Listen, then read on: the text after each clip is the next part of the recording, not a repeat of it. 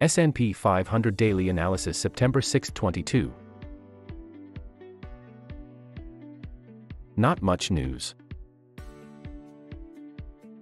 The S&P 500 is putting out feelers back to the 3950 point mark, but can neither safely exceed it nor dynamically move further down from it.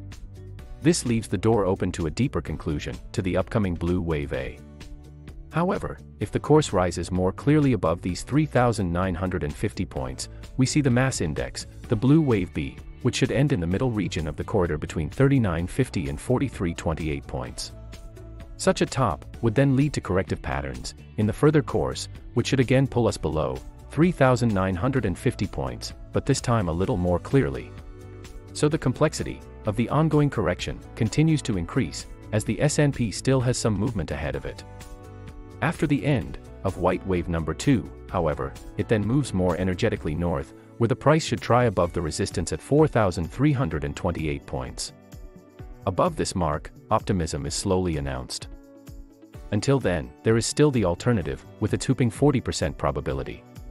Descents below 3,639 points would activate them, leading to lower prices in the turquoise zone, below before any sustained rallies in this market. So here we are, waiting for clearer signals regarding the completion of the blue wave A, after which the price should rise again more significantly. That's it for today. Thanks for watching. Don't forget to like and subscribe.